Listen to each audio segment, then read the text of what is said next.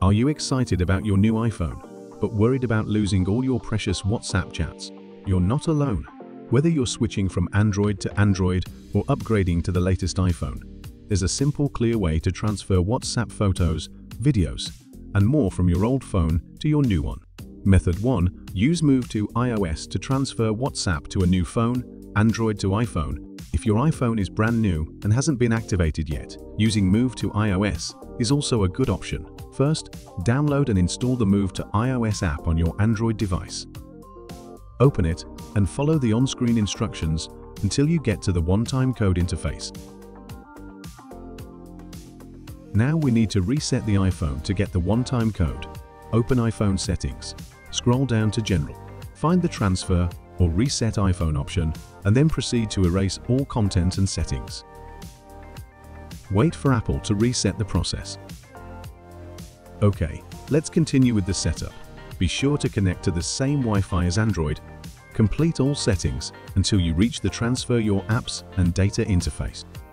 And select the Transfer Data from Android option. Click Continue. You'll see the one-time code and enter it in Android. Now, you can scroll down to find the WhatsApp option. Check it. Click to start the transfer. This is very fast because my WhatsApp data is small. Of course, you can also check and transfer other data. Then click Continue. The transfer starts. Please wait patiently. After the transfer is completed, complete the activation of the iPhone settings. You will see WhatsApp on the screen. Click it to enter the App Store to download. After the download is complete, open WhatsApp, follow the prompts and enter your mobile number. Once logged in, follow the WhatsApp prompts to transfer your chats. Finally, edit your profile. You will see that all WhatsApp data has been transferred to the new phone. Very simple. Method 2.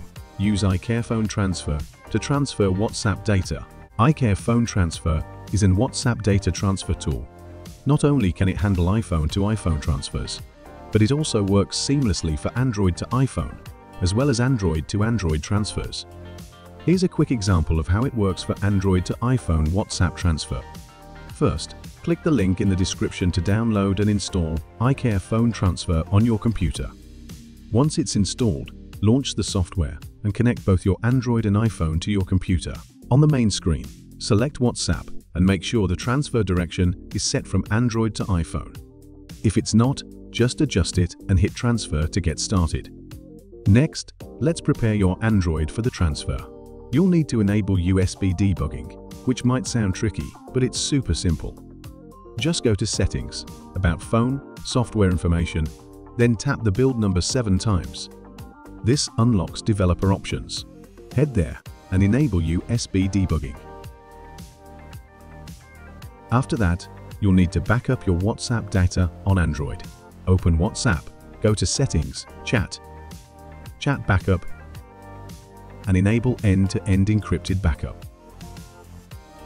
Generate your 64-digit encryption key and save it somewhere secure. Once you've got the key, iCareFone will prompt you to enter it for verification.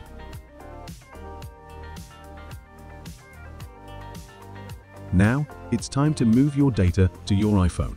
Log in to WhatsApp on your iPhone that you might need to temporarily turn off Find My iPhone to complete the process. Once you start the transfer, sit back and relax.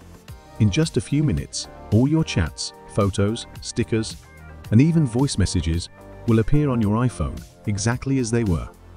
So give it a try and let me know in the comments how it worked for you.